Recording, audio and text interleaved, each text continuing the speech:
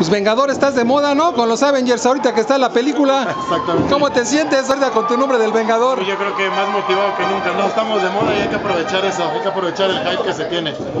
¿Desde y a la, a la vez en shock porque sé la calidad que manejo, pero la verdad traía las expectativas un poco vagas por la pareja con la que me enfrentaba. Pero se logró el acometido, entonces estoy muy contento la verdad. Ahora sí se impuso el estado de Querétaro. Se impuso ante este, igual luchadores de provincia, pero luchadores con más experiencia, más reconocidos aquí en la ciudad. Se notó, se notó el apoyo que se le daba a esta pareja.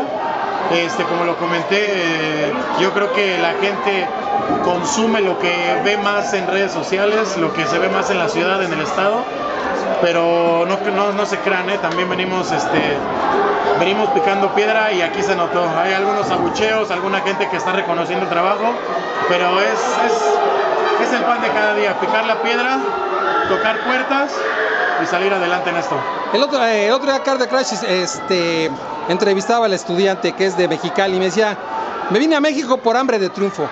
Parece que todos ven como eh, el lado de, de, proyección lo que es el DF y sus este, zonas alta, este, aledañas. ¿Cuál es tu caso? Pues lo que, mira, ahorita la verdad este, se me presentó la oportunidad. Este, personalmente ahorita ando yo con temas personales de mi carrera universitaria. Este, ¿Te estás preparando en? Soy, este, bueno, me estoy preparando para licenciar en Comercio Internacional. Pero créanme que no, no dejo a un lado la lucha libre, se vio. Creo que no dejo un mal sabor de boca en la gente.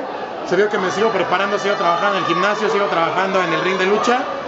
Entonces, por el momento, solamente van a ser algunas vaya, este, funciones este, en las cuales participes. Exactamente, no va a ser tan, tan este, consecutivo, pero eso no significa que no dé calidad en mis luchas.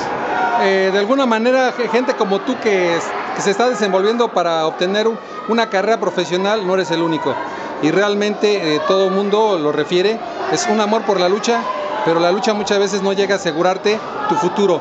Una lesión puede terminar tu carrera. Principalmente cambio, por eso, principalmente por lesiones físicas, pero yo creo que aquí la lucha libre como todo negocio, aquel que sabe manejar un buen business, vas a ver, vas a ver llevarlo en donde sea, como ellos en el que es perico, donde quieres ver. Entonces, de que se puede, se puede, solamente es cuestión de, de buena administración, de calidad y de presencia, ¿no? Bien. ¿Algo más que quieras comentar? No, nada más gracias a toda la gente que me apoyó hoy, tanto a la que no, igual se le agradece demasiado porque gracias a ellos yo me exijo más y yo doy más calidad. ¿Cuánto falta para tu carrera universitaria? Un año, ya espérenlo pronto, esperen pronto más a Vengador por aquí, por la ciudad. ¿Tú vas a ser licenciado Vengador o cómo va a estar la el cosa? Sale, Saludos, muchas gracias. Dale,